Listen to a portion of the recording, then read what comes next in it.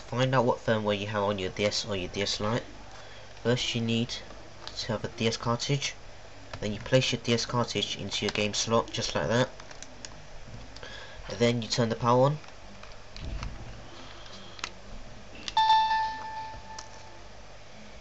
After that, you go into Pictochat. Sorry about this, but my DS Lite is very bright and this is the lowest level as well.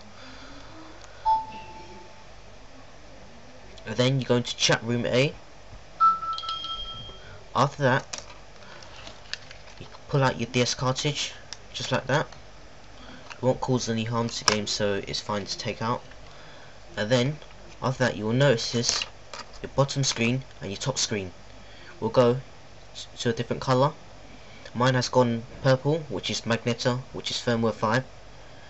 And then after that, you turn off your DS and that's it that's how you find out what your firmware is